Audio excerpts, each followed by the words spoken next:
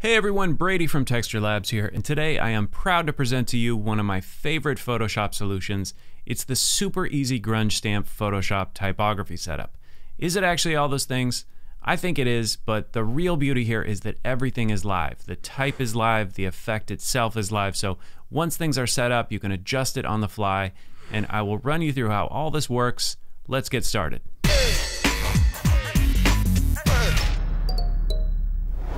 All right, Command N to get started with a new document, and I'm going to work at 3840 by 2160 or 4K. High resolution, but I'm a firm believer that soon enough everything will be 4K or 8K or 60, 70K, and it never hurts to future proof your techniques. Background color will be white and create. Then T for my type tool, and I'm going to set the color to black and this is a font called Anderson Thunderbirds Are Go, but this will work with just about any font. Command return to exit live type mode and Command T to transform and scale that up. And I'll just eyeball it to the center, something about like that. Then first thing I'm going to do is apply two effects to this type. And the effects are going to create sort of a reference map of where grunge will go. So bear in mind that lighter values in the type will end up being more distressed. So I'll go effects and select inner glow.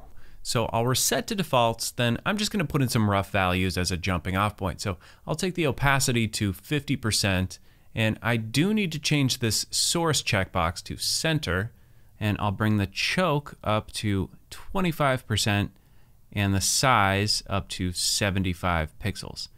And at the bottom, I'm gonna turn the range all the way up to 100 and finally, I'll change this contour tab to one of the presets, this curved profile.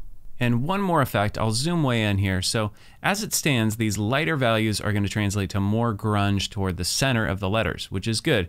But I want to end up with a little bit of grunge around the edges too. So I need a few gray values on the edges. I'll turn on the inner shadow effect to get some lighter values in the edges. I'm going to reset this one to defaults as well. Then I'll change the blend mode to screen and the color to white. Then I'm going to bring the opacity all the way to 100 and distance I'll take down to 0. Set the choke at 10 and the size also to 10. And finally, I will also change this contour tab to the curved profile. And okay.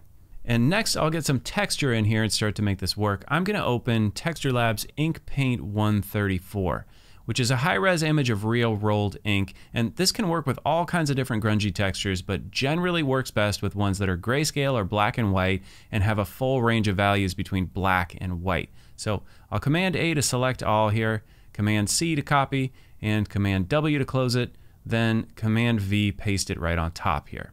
And I want to create a clipping mask so that the texture only lives inside of the letters, but I need to do one crucial thing first. I need to drag this text layer down to the folder icon and put it into its own group. This basically just tells Photoshop to apply any of these effects, the inner glow and the inner shadow, before it interacts with any of the other layers. So with that in its own group, I'll create that clipping mask by hovering in between the texture layer and the folder layer and giving it an option click. Then I'm going to move the texture around a little bit. I'll use Command T to transform and just scale it down a bit, maybe move it roughly into a place where I like how it sits in the letters, something about like that. And next, I'm going to change the blending mode of this texture to hard mix.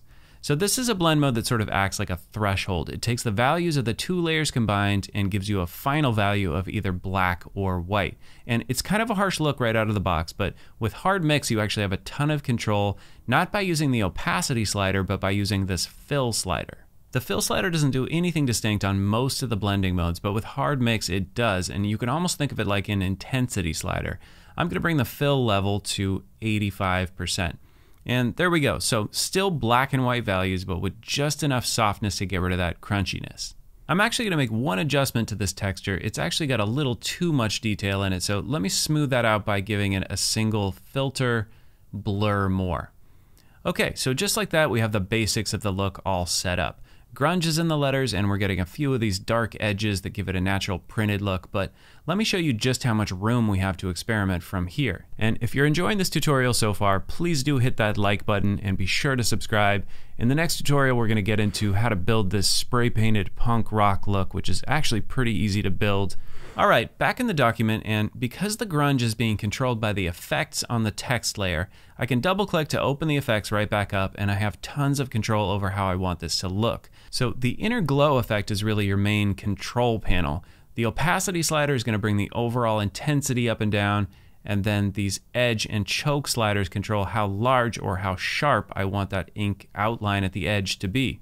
It's actually kind of gratifying just to push these around and see what you come up with. There's actually a lot of different looks you can get with just this one texture and this one font. And check this out, because the type is still live, I can still scroll through fonts and that grunge gets automatically applied on the fly. Let's say I ended up picking a lighter font like this font, Early Times. Let me scale that down and then I can open my inner glow effect and push it around here just to get the right amount and scale of grunge in there. So maybe I need to adjust the size and choke sliders to bring the grunge closer to the edges and bring the opacity down just a bit to get the right amount of grunge. So super versatile and you can imagine this works really well for building custom fonts. I'm just going to back up a few steps here to my original font and I'll run through one more thing which is how to put this over a background. So let me open Texture Guys Paper 131, a nice heavy cold press paper with a lot of tooth as they say. And I'll copy that and paste it right over the background here. So you can see the grungy type setup created a black and white grunge rather than black and transparent. So I'll switch the blend mode of this folder with a type in it to multiply. Then I'm going to blend it into the paper using the blend if options. So to do that, I want to access the blending options for this folder. I'll right click on the folder and all the way at the top here select blending options. And in blending options down at the bottom here is the blend if section. I'm going to the underlying layer slider at the very bottom and I'm going to hold option and drag this white value down and pick up some of the texture of the paper, maybe leave that at about 190. And I do go into a little more detail on these blending tools in the Essential Texture Tools video, so be sure to check that one out. But that is looking good, so I'll hit OK. And finally, I'm going to create a little more contrast across the entire image with an adjustment layer on top. So I'll go all the way to the top layer and then under the adjustment layers menu, create a levels adjustment layer. And I think all I really need to do here is bring out the whites by bringing this white input down to about 220.